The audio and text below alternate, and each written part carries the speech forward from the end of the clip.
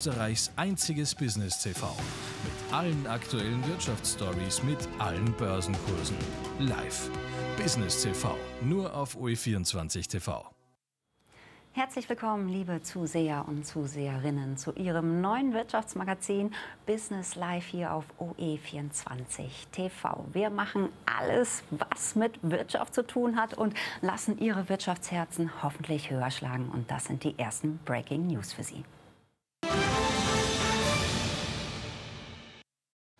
Die EU, die plant ja derzeit ein Ölembargo gegen Russland einzuführen. Österreich bezieht ca. 7 Prozent des Ölverbrauchs aus Russland. Energieministerin Leonore Gewessler hat aber inzwischen schon angekündigt, dass Österreich dieses Embargo voll mittragen werde und das russische Öl ersetzen kann. Eine rote Linie wäre allerdings für die Regierung ein Gasembargo. Österreich lehnt einen Stopp von russischen Gaslieferungen weiter konsequent ab.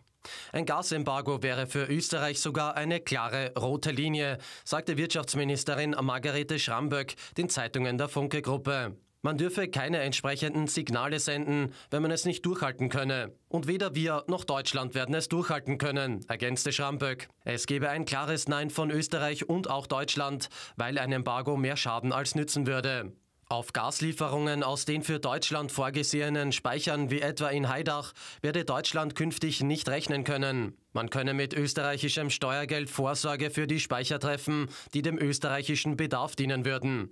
Aber man könne nicht mit österreichischem Steuergeld Gas für Deutschland, Frankreich oder die Niederlande kaufen, so Schramböck. Der zu Gazprom gehörende Speicher in Haidach sei derzeit fast leer. Österreich lege beim Befüllen der Speicher den Fokus zunächst auf den heimischen Bedarf. Das Ziel sei es, die Speicher von derzeit 18 auf 80 Prozent aufzufüllen. Schramböck schlug vor, dass die EU bei der Gasförderung auch auf Fracking setzen sollte. Es gebe Methoden, um Schiefergas umweltfreundlich zu fördern. Man dürfe sich nicht verschließen und mit dem technologischen Stand von vor 20 Jahren argumentieren. Die Technologie habe sich weiterentwickelt. Zudem brauche man mittelfristig neue Partnerschaften, etwa mit Saudi-Arabien für Solarenergie und Wasserstoff.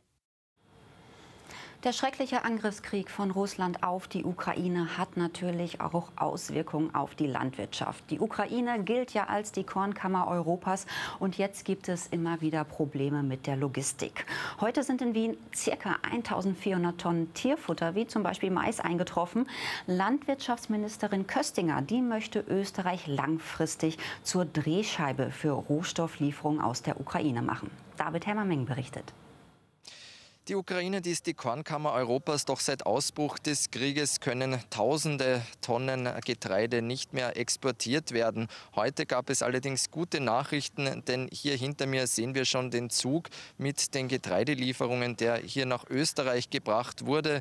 Äh, Elisabeth Köstinger, die zuständige Landwirtschaftsministerin in Österreich, die sich ja auch in der Vergangenheit schon für grüne Korridore ausgesprochen äh, hat, die zeigt sich ebenso erfreut wie ÖBB-Chef Mate über diese Lieferungen. Andere Staaten könnten bald folgen, andere Mitgliedstaaten der Europäischen Union. Es gab ja auch Gespräche mit dem zuständigen EU-Agrarminister. Seit Ausbruch des Krieges haben ja viele Häfen mit Problemen zu kämpfen, da Getreidelieferungen, und das sind einige hundert äh, Tonnen Getreide, nicht äh, mehr aus dem Land gebracht werden können. Zahlreiche Staaten sind davon abhängig, vor allem jene in Nordafrika, die benötigen hier das Getreide wirklich wie jeden Bissen Brot. Aber auch in der Ukraine selbst äh, ist natürlich die Situation sehr angespannt, wie auch das Welternährungsprogramm der Vereinten Nationen hier bekannt gegeben hat. Eine gute Nachricht ist jedenfalls äh, die Lieferung heute. Weitere sollen in den nächsten Tagen folgen. Und der Krieg, der wirkt sich natürlich auch auf die Inflation aus. Die Experten der österreichischen Nationalbank, die haben heute ihre Prognose für heuer nach oben korrigiert. Man rechnet mit einer Inflation von bis zu 9 Prozent. Eben Grund dafür sind der Ukraine-Krieg und drohende Gasengpässe. Und dann hat die ÖNB ÖNB heute noch mitgeteilt, dass Österreichs Leistungsbilanz 2021 erstmals negativ ausfällt. Auch das sind keine guten Nachrichten. Grund sind da der eingebrochene Reiseverkehr aufgrund der Pandemie sowie die stark verteuerten Energieimporte. Hoffen wir, dass es bei der Börse Positives zu berichten gibt. Wir schauen drauf.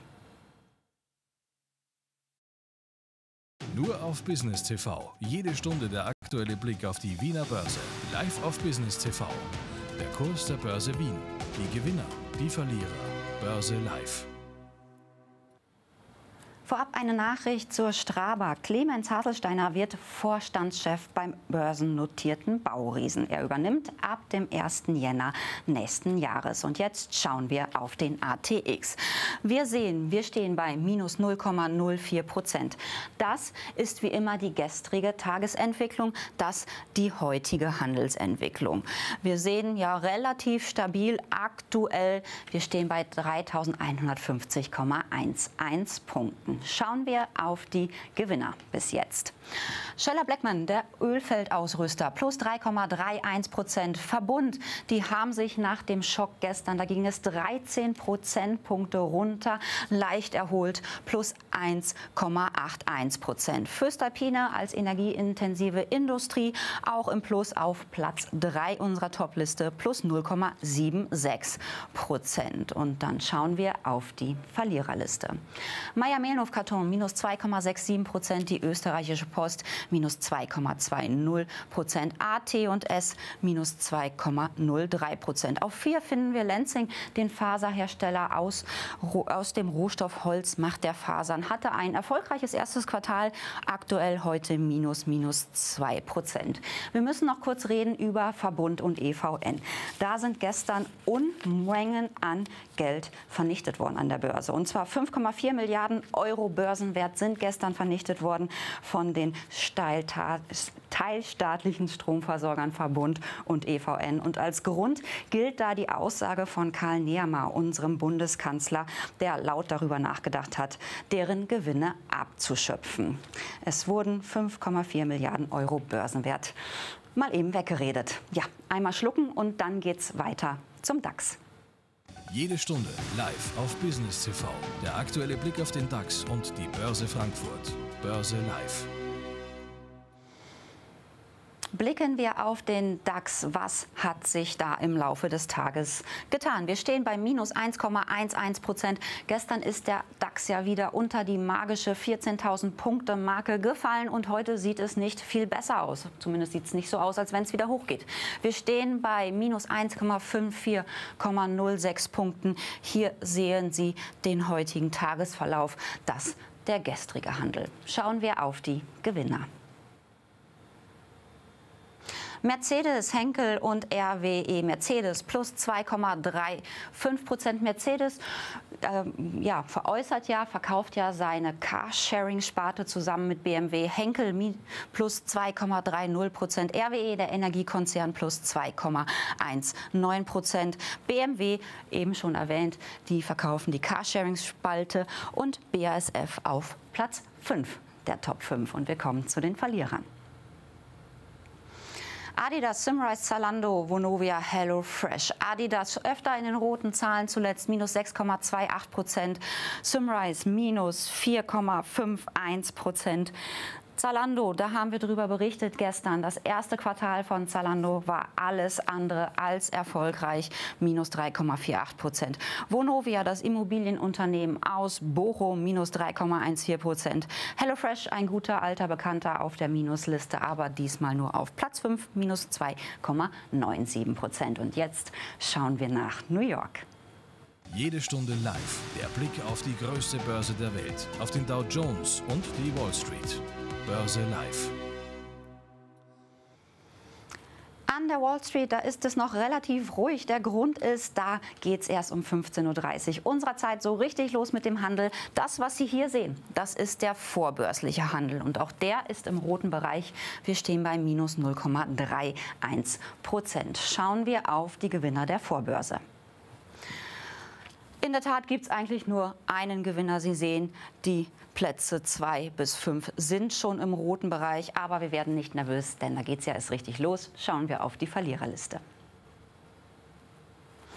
Nike, Walt Disney, Intel Corporation, das sind die drei mit den meisten Verlusten. Nike minus 1,70 Prozent, Walt Disney minus 0,77 und Intel Corporation minus 0,71 Prozent. Und das war unser erster Blick auf die Börse. Wir kommen später nochmal dazu. Jetzt habe ich aber erstmal weitere Breaking News für Sie.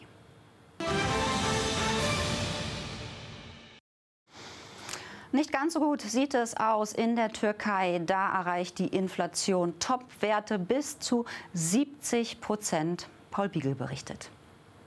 In der Türkei zieht die Inflation auf sehr hohem Niveau weiter an.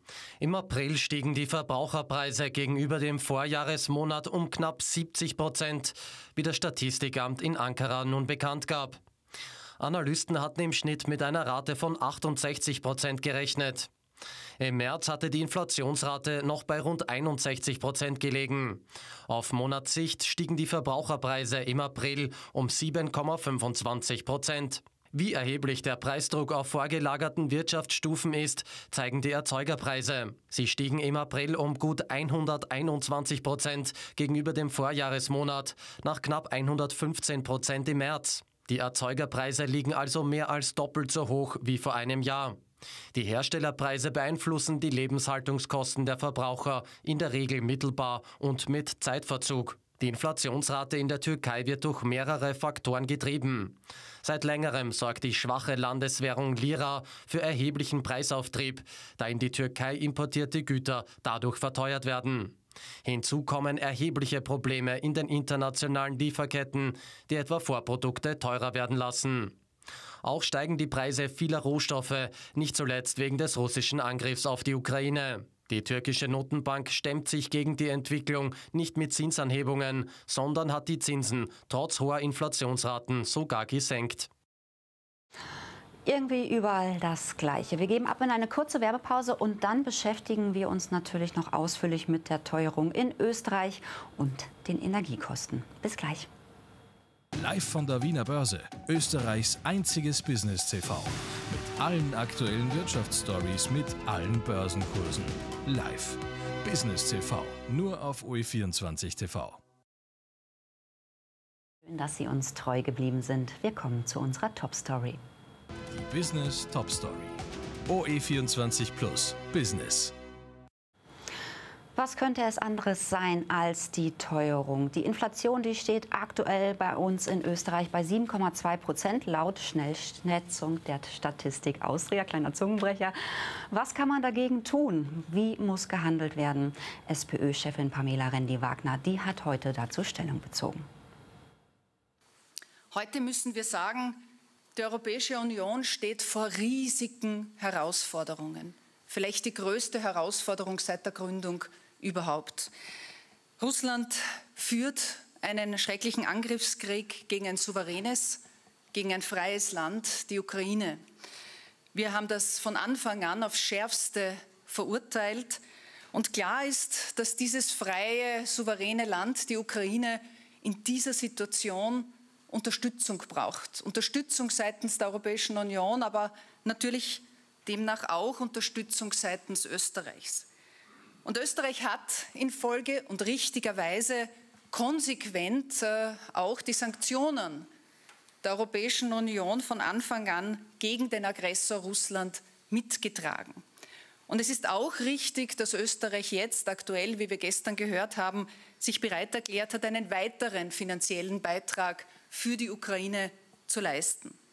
Das sind die Möglichkeiten, die ein neutrales Land wie Österreich gerade in so einer Situation zur Verfügung hat. Das ist ganz wichtig und an allererster Stelle die humanitäre Hilfe, die hier im Mittelpunkt stehen muss, sei es in der Ukraine, in den Nachbarländern der Ukraine, aber natürlich auch in Österreich, wenn es um geflüchtete Ukrainerinnen und Ukrainer geht.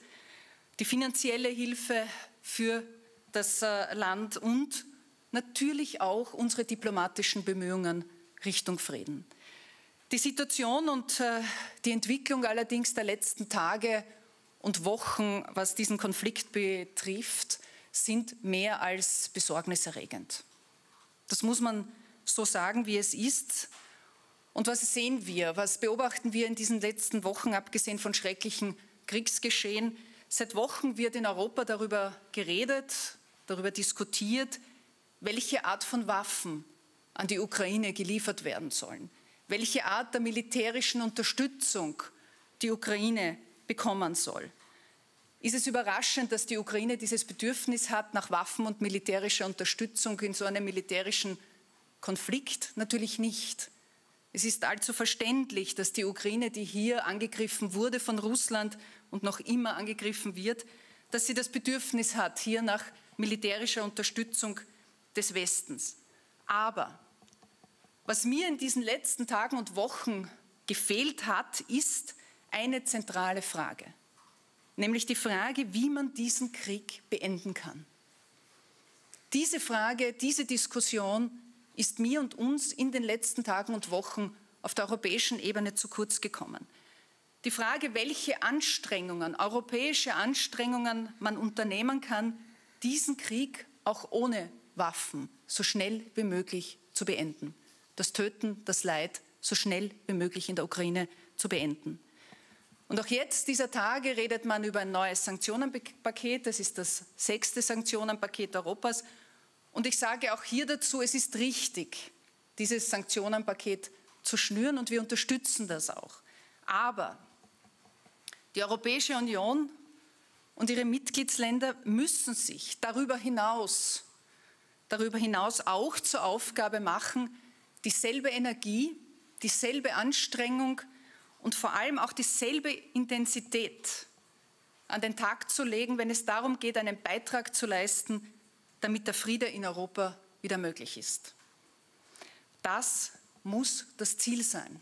Und das muss ergänzend zu allen laufenden Maßnahmen und Sanktionspaketen oder Waffenunterstützungen seitens der Europäischen Union erfolgen. Denn was ist die Alternative, wenn wir diese Anstrengung zu einer Friedensschaffung nicht unternehmen? Pamela Rendi-Wagner mit einer klaren Meinung zu Ja zum Frieden und Ja, alles muss dafür get getan werden. Und es gab auch ein Ja zum Sanktionspaket und geplanten Ölembargo. Und jetzt machen wir einen Schwenk rüber zur FPÖ. Da wurde heute der Vier-Punkte-Plan zur Neuaufstellung von Wiener Wohnen präsentiert. Lassen Sie mich damit beginnen, warum es diese Neuaufstellung braucht. Ähm, der Wiener Gemeindebau ist das äh, Tafelsilber und das wertvollste Tafelsilber dieser Stadt. Es sind ca. 220.000 Wohnungen als äh, historisches Erbe eigentlich des Roten Wiens. Äh, die Wiener SPÖ hat dieses historische Erbe allerdings komplett verfallen lassen. Und es hat sich gebildet ein Bermuda-Dreieck aus Sanierungsstau, aus Korruption und Sozialdemokratie. Und in diesem Bermuda-Dreieck verschwindet einfach wahllos Geld. Ähm, Lasse mich beginnen mit dem Sanierungsstau. Äh, wir haben es eh schon öfters auch darüber berichtet, dass aufgrund eines Prüfansuchen des Bundesrechnungshofs von uns äh, dieser dramatische Verfall des Wiener Gemeindebaus aufgezeigt wurde. Ähm, es wurde ein Sanierungsstau von 5 Milliarden Euro attestiert. Das heißt, rund drei Viertel der Gemeindewohnungen sind sanierungsbedürftig. Das heißt, rund 150.000 Wohnungen in Wien im Wiener Gemeindebau sind sanierungsbedürftig äh, und äh, dort gibt es kein lebenswertes ähm, Wohnen. Und was der Bundesrechnungshof ja auch festgestellt hat, ist, dass äh, nur 45 Prozent der Sanierungsquote erreicht wird. Was heißt das? Dass ein Sanierungszyklus einer Gemeindewohnung 70 Jahre dauert. Das heißt, alle 70 Jahre wird erst eine Gemeindewohnung saniert und man ist von dem Ziel, alle 30 bis 35 Jahre eine Komplettsanierung zu machen, ähm, weit entfernt. Das heißt, ähm, man lässt einfach hier 500.000 äh, Gemeindebaubewohner auch wahllos und schamlos äh, im Stich. Was macht die Regierung? Die Regierung hat zwar in ihrem Koalitionseinkommen hineingeschrieben, dass dieser Sanierungsstau behoben werden muss, allerdings lediglich nur mit einem äh, Zehntel des notwendigen Volumens. Das heißt, dass auch hier dieses Regierungsprogramm von Rot und Pink eigentlich ein Dokument des Scheiterns ist. Äh, Michael Ludwig, jetzt Bürgermeister, damals Wohnbaustadtrat, hat dieses äh, oder diese katastrophale Situation ja äh, unmittelbar mit zu verantworten. Und er kann sich auch nicht wegducken. Und es ist ja auch schon bezeichnend, dass es zwischen Bund und Wien, also zwischen dem SPÖ-Bund und SPÖ Wien, es hier komplette verschiedene Linien gibt, was auch hier die Mieterhöhung im Gemeindebau betrifft. Die Frau Rendi-Wagner als Bundesvorsitzende meint, äh, die, der Richtwertmietzins gehört nicht erhöht. Gleichzeitig erhöht aber Bürgermeister Ludwig den Richtwertmietzins im Gemeindebau. Davon sind 80.000 Wohnungen betroffen. Das sind stolze 26 Millionen Mehreinnahmen hier für die äh, Stadt Wien. Das heißt, ähm, auf der einen Seite will man die Mieten nicht erhöhen auf Bundesseite der SPÖ und die Wiener SPÖ erhöht hier schamlos. Es gibt auch noch andere Beispiele wie äh, Dreiskirchen, wo es ja auch einen roten Bürgermeister gibt, der diese Erhöhung äh, nicht äh, umgesetzt. Unser konsequenter Weg für ein besseres Wohnen und billigeres Wohnen in Wien, vor allem im Gemeindebau, haben wir eben dieses Vier-Punkte-Programm entwickelt. Das ist erstens Schluss mit Korruption. Wiener Wohnen muss durch das Wirtschaftsministerium beaufsichtigt werden. Zweitens, Wiener Wohnen wird zu einer reinen Besitzholding umgewandelt und die Verwaltung des Bestandes äh, passiert durch die Wiener gemeinnützigen Bauvereinigungen. Drittens, Wiener Wohnen darf nicht länger teurer sein als Wohnungsgenossenschaften. Und viertens, äh, Streichen der Inseratengelder von Wiener Wohnen, weil äh, niemand einsieht, warum man etwas bewerben muss, was sowieso schon knapp ist, nämlich leistbares Wohnen und hier schon zigtausende Menschen endlich auf eine Gemeindewohnung warten. Soweit die Ansichten von Dominik Nepp, Vizebürgermeister der Stadt Wien. Kommen wir noch mal zurück zu den Energiekosten. Plus 42 Prozent heißt es da für österreichische Haushalte im März. Entlastung gibt es kaum. Auch der Energiegutschein, der macht Probleme. David Hermann-Meng. Vier Millionen Haushalte in Österreich haben in dieser Woche bereits den Energiekostengutschein bekommen. 150 Euro soll es äh, dafür geben. Allerdings ist dieses Projekt immer mehr zu einer Farce verkommen. Warum? Für fast 40 Prozent der Haushalte ist die Situation momentan so, dass der Gutschein erst im kommenden Jahr eingelöst werden kann. Das hat mit der Stromabrechnung zu tun. Zudem kommen äh, noch horrende Kosten, die hier mit der technischen Umsetzung verbunden sind. Denn fast 30 Millionen Euro werden alleine äh, insgesamt für dieses Projekt budgetiert. Hinzu kommen dann noch 7,5 Millionen Euro Aufwandsentschädigung für die Stromanbieter und die dürfen sich zusätzlich noch um 1,5 Millionen Millionen Euro für die technische Umsetzung freuen. Dass diese technische Umsetzung zuletzt nicht immer reibungslos funktioniert hat, hat auch die Homepage gezeigt. Die kostet immerhin wohlfeile 350.000 Euro. Doch zuletzt hat man hier auch mit Problemen zu kämpfen gehabt. Ja, das Projekt, äh, das unter anderem ja auch von Finanzminister Magnus Brunner hier aus der Taufe gehoben wurde. Das äh, gerät immer mehr zu Brunners Bauchfleckbonus und erzeugt ordentlich Bauchweh bei den Menschen in Österreich, die diesen Bonus gerade in Zeiten steigender Energiekosten jetzt ganz dringend brauchen und nicht erst im nächsten Jahr. Nur auf Business TV. Jede Stunde der aktuelle Blick auf die Wiener Börse. Live auf Business TV. Der Kurs der Börse Wien. Die Gewinner, die Verlierer. Börse Live. Wir sind im Endspurt der Sendung und spurten nochmal durch die Börsen. Aktuell der ATX plus 0,12 Prozent. Hier die heutige Handelsentwicklung. Relativ stabil. Und jetzt geht's zum DAX. Börse Frankfurt. Live. OE24 Plus. Business. Was hat sich in den letzten Minuten getan beim DAX? Es geht, Sie sehen es hier mit viel Optimismus bergauf, minus 0,95 Prozent aktuell. Und noch schnell nach New York. Börse New York. Live. OE24 Plus. Business. Da sind wir noch im vorbörslichen Handel und wir stehen bei minus 0,10 Prozent. Hier die Kurve, los geht's in New York um 15.30 Uhr unserer Zeit. Und jetzt noch schnell die Euro-Wechselkurse. Der Euro hat zuletzt ein bisschen verloren. Heute sehen wir aber überall Pluswerte. Besonders bemerkenswert, für einen Euro gibt es 71,78 Rubel. Das ist ein Plus von 4,9 Prozent. In den letzten Tagen hatte der Euro immer im Gegensatz zum Rubel verloren. Und jetzt kommen wir noch zum Gold. Die Feinunze Gold gibt es aktuell für 1.781,75 Euro. Das ist ein Plus. Hier sehen Sie die Tagesentwicklung. Und das war die erste Business Live-Sendung für heute. Ich würde mich total freuen, wenn Sie um 17.30 Uhr wieder mit dabei sind. Da haben wir wieder alle aktuellen Updates für Sie. Bis dahin, alles Liebe.